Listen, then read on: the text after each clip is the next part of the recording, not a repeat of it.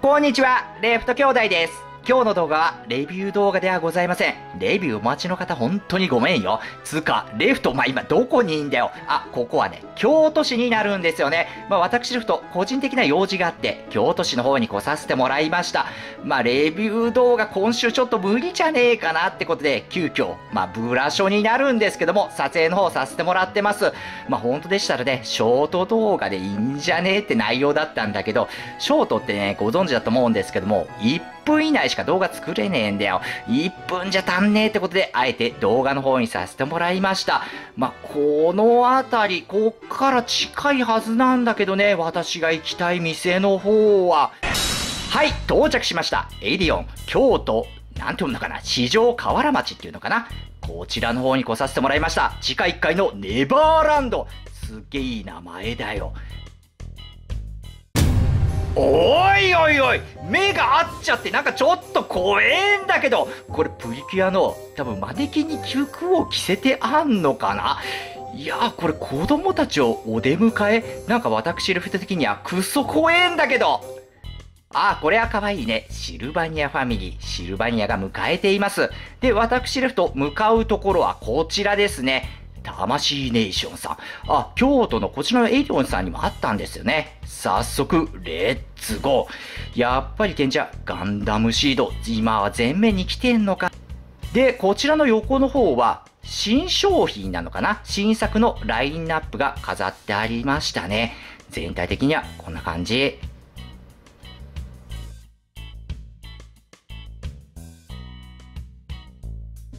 で、こちらが新製品の予約状態ですね。うーん、私が欲しいのは、あ、これだ。新作予約。最終ブロンズのフェニックス1機、ついに来ますね。来ましたセイントクロスマイスのコーナー沙織さん EX すごくいいよね実写聖夜あるねつうかめっちゃ余ってんじゃんくそあんだけど増票の暗黒フェニックスかよこれやっぱり売れねえのかな？はい、ワンピースのフィギュアのコーナー。こっちの実写は好評なんだよね。中の人同じなのに。なんでかね。で、サンジ、ローがいて、まあ、ヤマトの方がいますね。在庫数はさすがに魂ネーションさんだけあって、かなり豊富です。下の方見てみよっか。下の方はドラゴンボールの SH フィギュアーツ。このピッコロさんは確か再販じゃなかったかな。在庫かなりあるね。あ、これサンドランド。もうフィギュアーツで出てたんだ。造形はどう？結構いいのかなあ、割といい造形だね。こちらがスター・ウォーズのコーナー、マンダロリアン。あれ、インディ・ジョーンズじゃねえか。インディ SH で出てたんだ。これめっちゃ欲しいんだけど、つうか、沙織さんここにもあるよ。これ誰か隠したのかな？で、横の方に来ると、これはアクアマンか。で、下の方が、スター・ウォーズの SH フィギュアーツ。これ、たっけんだよね。ただ造形はかなりいい出来です。ラインナップというか在庫数もかなり多いですね。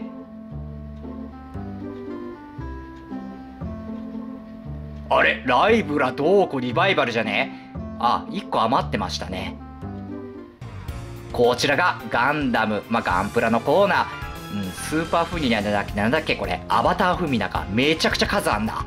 まあ、全体的にガンプラの種類かなり豊富だな。これだよ、これ。私レフトが欲しいな、これ。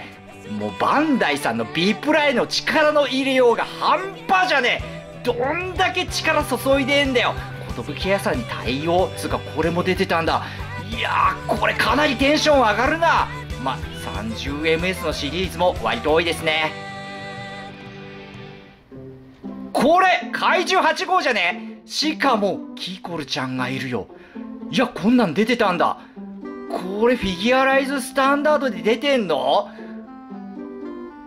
造形やばくね？割とよくね？これ買っちゃおっかな。かなり出来いいんだけど。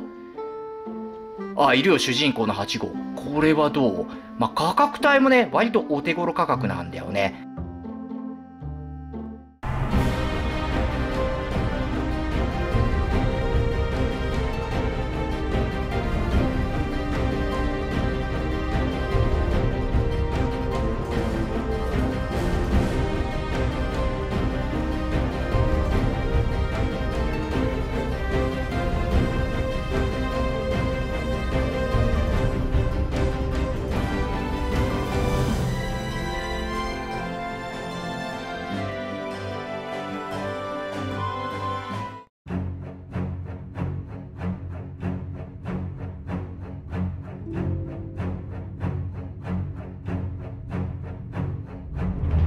カーレット・ニード。ルあんたです。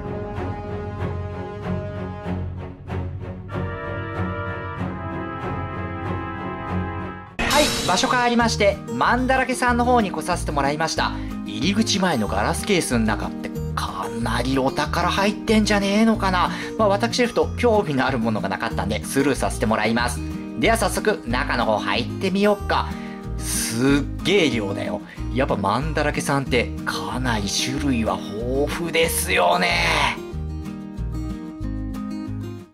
私の人今クソハマり中のこのスバのコーナーに来ました。フィギュア全然少ねえな。やっぱ人気なのかな。アクア様しかいねえよ。はい。セイントクロスマイスのコーナーに来ました。種類はね結構あるよ。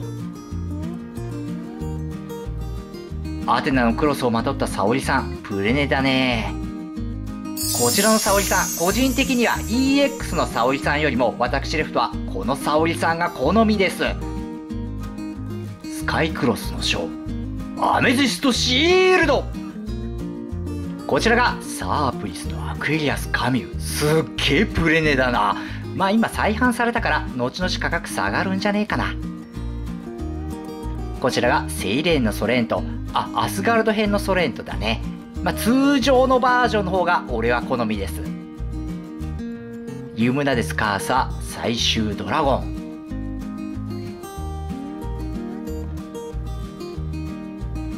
このドラゴンシリーズ俺買ってねえんだよね。もう定価超えじゃねえか。早速プレね。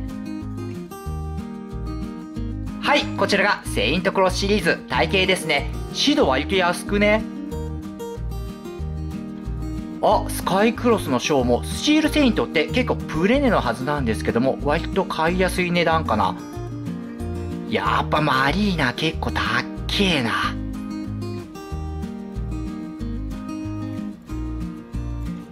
あれ？アイザック。結構安いと思うこれは。いやそんなことなかった。やっぱアイザックすっげえプレネだよ。どこもやっべえな。